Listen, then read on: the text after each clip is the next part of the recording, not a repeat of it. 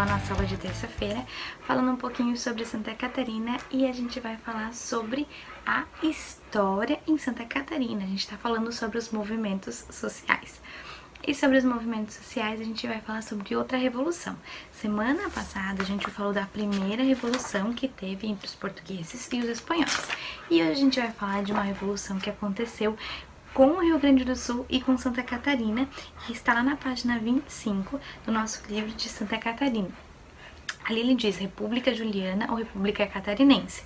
Mas o nome dessa revolução, ela foi, ela foi conhecida como a Revolução Farroupilha. Vocês já ouviram falar desse nome, Revolução Farroupilha?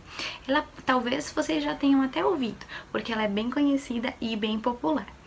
O que, que aconteceu nessa revolução foi quando pessoas do Rio Grande do Sul invadiram Lages e se juntaram com o povo catarinense aqui em Lages, porque eles estavam insatisfeitos porque o governo não conseguia olhar para eles, o governo não estava dando para eles aquilo que eles precisavam, estavam cobrando muitos impostos, principalmente na venda do charque. O que é o charque? É aquela carne bem salgada que o Rio Grande do Sul ele vendia em grande quantidade, mas estava com os, os juros e os impostos tão alto que eles não estavam conseguindo é, vender e ter um bom lucro por causa disso. Então eles estavam insatisfeitos porque o governo ele não conseguia ver as necessidades do povo, nem o, nem o povo catarinense e nem o povo é, do Rio Grande do Sul. Eles queriam mais liberdade, eles queriam poder comercializar melhor esses produtos, mas por causa também também do alto imposto, eles não conseguiam fazer isso.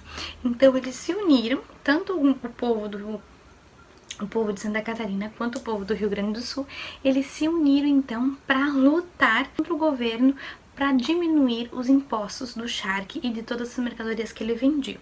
E essa revolução ela durou em torno de 10 anos. E eu não vou nem contar para vocês como que ela terminou, porque tem aqui no livro e a prof também deixou o link aqui de um desenho que conta bem certinho a história da Revolução Farroupilha. É bem legal e mostra todos os detalhes de como isso aconteceu. Então o que que vocês vão fazer? Vocês vão ler com atenção a página 25 e 26 e vão destacar as partes principais.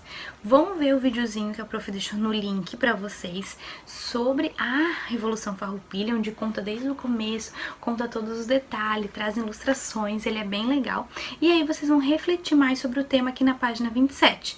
Vocês vão falar, né, colocar um resumo de como que foi a invasão em 1777 e a Revolução Farroupilha. Quais são os lugares envolvidos e qual foi as alterações que aconteceram na vida das pessoas por causa dessa revolução, tá? Então hoje a gente vai estudar sobre a Revolução Farroupilha.